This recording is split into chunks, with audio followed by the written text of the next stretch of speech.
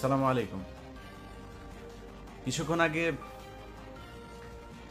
সচিবালয়ের সামনে আনসারদের সাথে মানে আনসারদের উপরে আর কি শেখ হাসিনা ভর করেছিল। ডক্টর ইউনুসকে সরিয়ে দিয়ে তারপরে শেখ হাসিনা আবারও ক্ষমতায় বসবে। এতদিন শেখ হাসিনার যে চোর বাটপাররা বাংলাদেশকে চুরি করে রিজার্ভ টিজার্ভ সব শূন্য করে দিয়েছে, তারা আবারও নতুন করে ক্ষমতায় আসার স্বপ্ন দেখছে। তো আওয়ামী লীগ শেখ হাসিনা বলেছিল না আওয়ামী লীগ কখনো পালায় না আসলে আওয়ামী লীগ পালায় না আওয়ামী লীগ এখন বিভিন্ন জায়গায় মজুদ হয়ে আছে। কখনো হিন্দুদের উপরে ভর করছে কখনো দৌলতদিয়া ঘাটে ভর করছে। আজকে আনসারদের উপরে ভর করেছিল। ভর করে তারা ক্ষমতায় আসবার আবার এই দিবার স্বপ্ন দেখছে। এই স্বপ্নটা অবশ্য আওয়ামী লীগ দেখে না। আনসারের যারা আজকে এই জায়গায় এসেছিলেন তারা সহ যাদের যাদের উপরে ভবিষ্যতে আওয়ামী লীগ ভর করার চেষ্টা করবে তাদের ব্যাপারে খুব পরিষ্কার একটা মেসেজ দিয়ে যায়। এটা মানে কোনো বিশ্লেষণ বা কোনো কিছু না, একদম প্র্যাকটিক্যালি যা ঘটছে সেইটা নিয়েই আপনাদেরকে শুধু কিছু মানে নমুনা দিয়ে যায় সামনে। দেখেন, এই গেল পনেরো বছরে শেখ হাসিনা শুধু নিজে বিপদে পড়ে নাই। শেখ হাসিনা পুরো বাংলাদেশে তার মানে আসলেই তার পক্ষে রাজনীতি করুক, তাকে পছন্দ করুক আর নাই করুক, তার দলের সাথে সম্পৃক্ত তো ছিল অন্তত ধরেন এক কোটি মানুষ তার দলের সাথে সম্পৃক্ত ছিল। এর মধ্যে ধরেন কয়েক লক্ষ নেতাকর্মী সরাসরি তার হয়ে কাজ করেছে। এই প্রতিটা নেতাকর্মীকে আপনি বিপদে ফেলেছেন। দেখেন, এই যে মানিক, জীবন যায় যায়, এই জীবন যৌবন সব শেষ করার পরে এই বয়সে এসেও তার কত উত্তেজনা দেখেন চ্যানেলাইতে গিয়ে কি করল। বিভিন্ন জায়গায় সে সবসময় এত উত্তেজিত থাকে। নিয়ে যায় নাই কিন্তু শেখ হাসিনার সাথে করে। ইভেন দেখেন, পলকের মতো শেখ হাসিনার কোলে কোলে চড়তো যিনি, মা মা বলে ডাকতো। সেই মায়ের বিরুদ্ধে এখন রিমান্ডে যায় আপনার বক্তব্য দিচ্ছে, যে তার মাকে সে বলেছিল ক্ষমতা থেকে স্টেপ ডাউন করার জন্য সেই স্টেপ ডাউন করে নাই। উল্টো তাকে গণভবনে এই ওবায়দুল কাদের মারতে এসেছিল। এটা সে তার রিমান্ডের জবানবন্দিতে বলেছে। এখন এই যে উনি যে ওয়ান সিক্সটি ওয়ান দিচ্ছে বা মানে যেইভাবেই দেখ, ইচ্ছায় দেখ, অনিচ্ছায় দেখ, দিচ্ছে তো।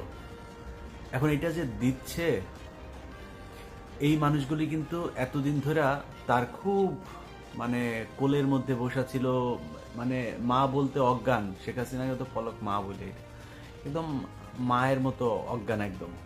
মানে ওরা তো আবার আপা বলে, মাও বলে, দুইটাই বলে। তো মায়ের মতো দেখতো আপা বলে ডাকতো। তো এই মা আপাকে এত শ্রদ্ধার জায়গায় রেখে আছে কিন্তু সরে গিয়েছে। কেন সরে গিয়েছে জানেন? কারণ পলক দেখেছে যে আমার আম্মা আমাদেরকে কোনো নোটিশ টোটিস না দিয়ে নিজে ভাইয়া গেল, আমাদেরকে একটু ভাগার সুযোগ দিল না। অতএব এই প্রায় এক দেড় কোটি যে আওয়ামী লীগের লোকজন, এগুলোকে কিন্তু শেখ হাসিনা বিপদে ফেলে গিয়েছে। আপনারা আজকে যারা আছেন, শেখ হাসিনার গত এই পর্যন্ত আমার চোখে পড়েছে দুইটা ফোন রেকর্ড সে বাংলাদেশে বিভিন্ন তার নেতা কর্মীদের সাথে একটা কথা বলছে কার সাথে? বরগুনাতে এক আওয়ামী লীগের নেতার সাথে। ওই নেতা তো মনে করেন ফোন শেখ হাসিনার ফোন পায় ওর কাপড় টাপড় খুইলা না পারে, উত্তেজনায় শেষ। এই এত উত্তেজিত সেই নেতা, সে ওই লেভেলের না, শেখ হাসিনার ফোন রিসিভ করার মতো না। কিন্তু তাকে ফোন করেছে। এইটাতেই তার মনে করেন স্বপ্নদোষ হয়ে যাওয়ার অবস্থা। তো কেন শেখ হাসিনা তাকে ফোন করছে? কারণ শেখ হাসিনার এখন ওই জায়গাতেই ভর করতে হবে। উপর লেভেল তো সব মনে করেন আটক, এখনও ক্যান্টনমেন্টে, জেলখানায় নানানভাবে, নানান দিকে, দেশ থেকে বের হয়েছে কিছু। এখন তো এই মিড লেভেলে এসেই তো তাকে কথা বলতে হবে, জেলা সভাপতি, উপজেলা সভাপতি, এই লেভেলের আওয়ামী লীগ নেতাদের সাথে তদ্দার কথা বলতে হবে। কিন্তু ওই ব্যক্তির যে উত্তেজনা আমি দেখলাম, এই ধরনের উত্তেজনা কিন্তু অনেকের ভেতরে হইতে পারে। সো উত্তেজনা করে জামা কাপড় নষ্ট না করে একটা জিনিস শুধু মাথায় দিয়ে রাখি, শেখ হাসিনা আপনাদেরকে উস্কানি দিয়ে আপনার জীবন নিরাপত্তাহীন করে তুলছে। শেখ হাসিনা, সে নিজেও জানে সে যে ক্ষমতায় আসতে পারবে না। কেন জানেন? মানে আমার এই কথাটা সত্য কি মিথ্যা সেটা আপনি একটু নিজে চিন্তা করেন। ধরেন শেখ হাসিনা এই প্রশাসনটা কিন্তু পনেরো বছর ধরে সাজিয়েছে। আজকে প্রশাসনে তো অনেক রদবদল হয়েছে। পাঁচ তারিখে কি এর চাইতে বেটার ছিল না? এরকম প্রশাসন শেখ হাসিনাকে দেশে রাখতে পারে কেউ কি গণভবনে তখন হামলা করেছিল? করে নাই তো। চালিয়ে তো গোলা গোলাগুলি করতে পারতো। সেনাবাহিনী যদি বন্দুক নিয়ে দাঁড়ায় থাকতো, কামান নিয়ে দাঁড়ায় থাকতো, কেউ যাইতে পারতো নাকি গণভবনে? সে থাকতে পারতো, কিন্তু থাকতে পারে নাই। দ্যাট মিনস আপনাকে বুঝতে হবে যে এইখানে একটা বিশাল একটা শক্তি কাজ করেছে। আমি মানে আল্লাহর উপরে অবশ্যই শুক্রিয়া, আল্লাহ সব কিছুর পরিকল্পনা করে থাকেন। তো বিশাল একটা শক্তির মাধ্যমে কিন্তু শেখ হাসিনার পতনটা হয়েছে।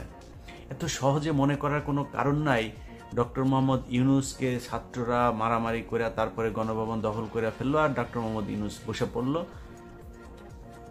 এত সরলীকরণ করলে কিন্তু ভুল করবেন। দেশ এখনও কোন দিকে যায়, কি হয় সেটা নিয়ে অনেক কিছু দেখার আছে।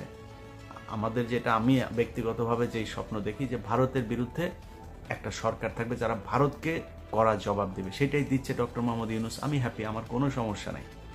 যারা উপদেষ্টা আছে, তাদের নিয়ে আমার কোনো সমস্যা নাই। আমি চাই এরা দেশ চালাক।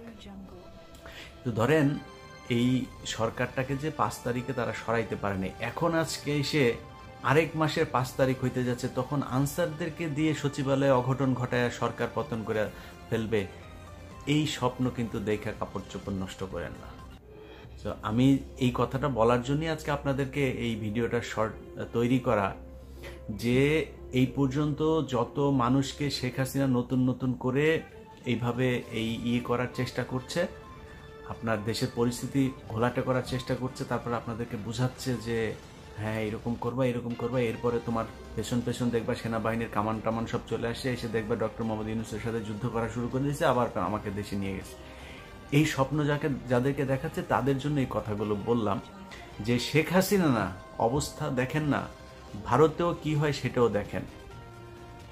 আপনাকে আবারও বলি, বাংলাদেশের আজকের যে পরিস্থিতি, এটা খুব সহজভাবে এই জায়গায় চলে আসে নাই। হেফাজতের পাঁচই মের রাতে দশ লক্ষ, পনেরো লক্ষ মানুষ ঢাকায় ঢুকে নাই। শেখ হাসিনা কি করেছে? হোয়াই নট চার তারিখ রাতে সেটা করল? হোয়াই নট পাঁচ তারিখ দিনে সেটা করল? করে নাই কেন? কিসের জন্য করে নাই? কিছু একটা আছে, ব্যাপার কিছু একটা আছে। সেগুলো নিয়ে বিস্তারিত আলাপে যাইতে চাই না।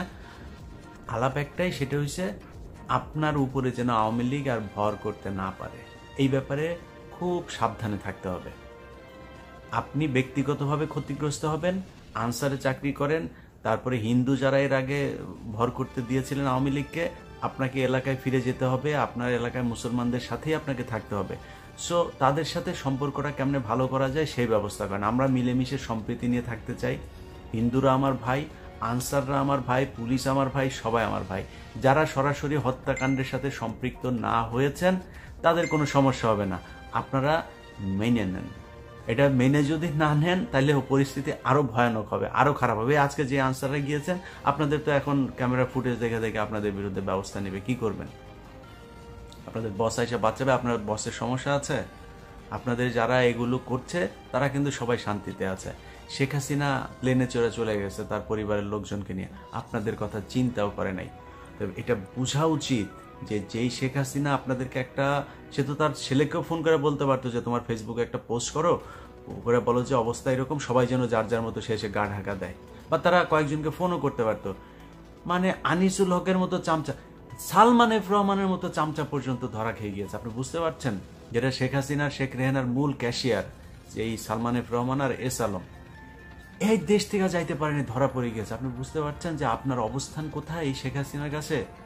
সে বাংলাদেশে তার বাপের হত্যার প্রতিশোধ নিতে এসেছে। বাংলাদেশকে সে আরেক দেশের হাতে তুলে দেওয়ার জন্য এসেছিল। বাংলাদেশ গড়তে সে আসে নাই। এক একটা প্রকল্প, এই যে দেখে যাদের অনেকেই বলে থাকেন যে অনেক উন্নয়ন হয়েছে, এই সেই। আর একটা উন্নয়ন কি? শেখ হাসিনার বাপের টাকা দিয়ে হয়েছে আমার বাপের টাকা দিয়ে হয়েছে তোমার বাপের টাকা দিয়ে হয়েছে। শেখ হাসিনার বাবার টাকা দিয়ে শেখ হাসিনা এখানে এক এক প্রকল্প থেকে পাঁচ বিলিয়ন, দশ বিলিয়ন করে তারা হাতিয়ে নিয়েছে। দেখেন সবশেষ এই যে নিজেরা পোড়াইলো পোড়ায় কান্নাকাটি করল, মেট্রো, রেল টেল সব পুড়িয়ে দিয়েছে, এই সে বলল। বলে তারপর কি করল? সেটাকে ঠিক করতে এক বছর সময় লাগবে, তিনশো কোটি টাকা লাগবে। ধরা শেষ মানে ক্ষয়ক্ষতির পরিমাণ জানা শেষ, তিনশো কোটি টাকা খরচ হবে। কয়দিন হলো? বিশ দিন হয়েছে। ইউনুস সরকার মেট্রো রেল আজকে থেকে চালু করেছে। তিনশো কোটি লাগা টাকা লেগেছে? তো এইভাবেই লুটপাট হয়েছে গত পনেরো বছরে। এক রূপপুর পারমাণবিক কেন্দ্র থেকে পাঁচ বিলিয়ন ডলার নাই। তো এটার জন্য আপনার মাথায় রাখতে হবে শেখ হাসিনা এই দেশ গড়তে আসে না এই দেশ ধ্বংস করতে এসেছে। ও এই দেশের শত্রু। এটা মাথায় রেখেন আর নিজের প্রতি খেয়াল রেখেন। আন্দাজে আওয়ামী লীগকে ভর করতে দিয়েন না। আল্লাহ হাফেজ।